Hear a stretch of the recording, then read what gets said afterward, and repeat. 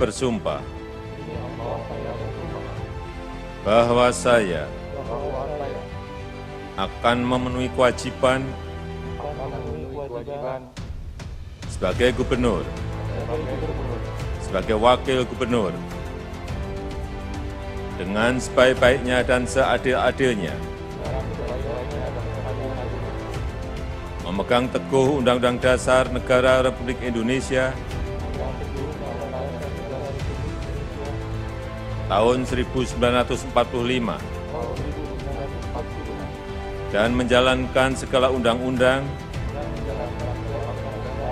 dan peraturannya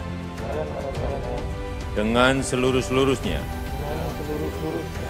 serta berbakti kepada masyarakat, nusa, dan bangsa.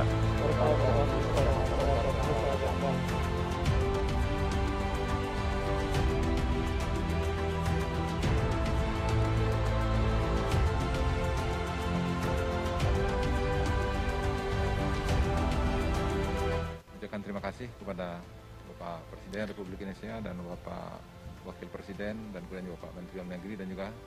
uh, Bapak Menteri-Menteri yang lain. Kita konsen sebagaimana Sumatera Barat